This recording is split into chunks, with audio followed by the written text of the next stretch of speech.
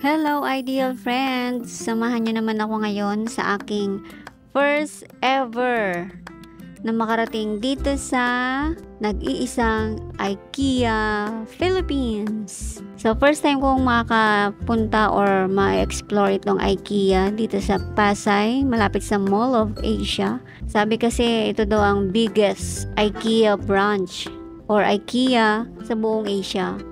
And shoutout nga pala kasama ko dito sa pag-ililibot si Mind Channel and si Raindrops. So, tatlo kaming naglibot at naligaw dito sa loob ng IKEA Philippines. So, pagpasok pa lang, din na namin alam kung saan kayo pupunta. Kasi sobrang lawak pala nitong IKEA dito sa Pasay. So, actually, ang aming na-explore dito is isang floor lang. Sobrang lawak niya, napagod na kami. At saka naubusan na kami ng time kasi limited lang yung time namin dito. After naming mag, mag-banding, magkain, Siyempre kumain muna kami before kaming magpunta dito sa IKEA. So nilibot namin siya. Yung isang floor lang, 'di ba? Makikita nyo nakailang akyat kami sa stairs. Pero isang isang floor lang talaga yung naano namin na explore at saka doon lang kami nakabili nung hinahanap namin. So, dalawa yung hinahanap namin dito actually dapat uh, bibili kami ng uh, isang pillow o yung unan at saka yung uh, isang kaldero or ano man yung basta yung pang ano pang kitchen na pwedeng malutuan. So after dyan, hindi kami nakapasok dyan. Kaya tuli kami sa stair And then doon yung parang makikita mo doon yung yung grocery or yung ano talaga yung parang bilihan na ng mga gamit. So, hindi ka naman masyadong maliligaw kasi mayroon siyang mga parang arrow o yung meron kang susundan na ano para malibot mo yung buong ano. So, bago ka papasok dun sa bilihan mismo ng mga gamit, meron kang pwedeng mga kainan. May mga Swedish cafe, may Swedish uh, bistro. Yun yung mga kainan. Dito mo pwedeng matikman yung mga iba't ibang sigurong mga pwedeng makain din na Swedish food. Naubos na yung time namin. So, parang hindi na kami kumain dyan. So, sa susunod na lang, kung sakaling makakabalik kami dito sa uh, IKEA. So, titry na namin yung mga food na yan or ano man yung mga drinks na pwede namin itry. So, tara, simulan nating i-explore ang loob nitong IKEA na pwede kang bumili at mamili or mag window shopping kasi balita ko kumpleto na yung mga gamit na hinahanap mo dito sa IKEA. So, samahan niyo ako. Tara, let's go!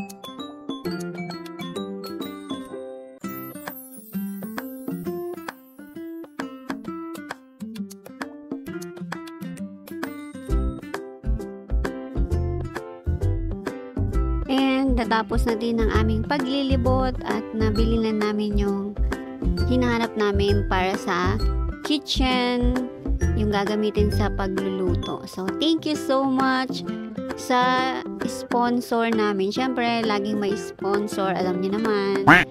Ah, thank you so much sa binigay mong chance, sa blessings na shinare mo para ma-experience namin ang IKEA and makabili kami nung something para sa gamit namin dito sa aming kitchen para mag magluluto-luto na kami. Thank you, thank you so much. More blessings to you. Maraming maraming maraming salamat sa mga ganitong binibigay mo sa aming chances. Thank you so much, Mind Channel and Raindrops sa ating IKEA banding. So, looking forward sa mga susunod pa nating mga banding. Maraming maraming salamat sa lahat ng nag-stay at nanood. Thank you so much sa lahat-lahat ng nagsusupport sa Ideal Eileen TV channel. Thank you so much. See you again on my next video. Maraming maraming maraming salamat. Ay, ipapakita ko pala sa inyo kung ano yung nabili ko. Ito lang naman yung isa sa mga nabili ko. Hindi ko alam kung anong tawag dito, pero lutuan siya. Pwede siyang pang soup. Yan. Mag- maganda yung ano niya, yung quality niya eksena lang talaga itong aking binili. Thank you so much sa aming generous sponsor. Maraming maraming maraming maraming salamat sa iyo. More blessings.